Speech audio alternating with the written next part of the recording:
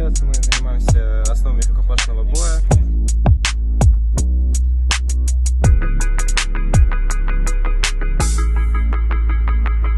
Вот, занятия очень интересные, проводит талантливый инструктор.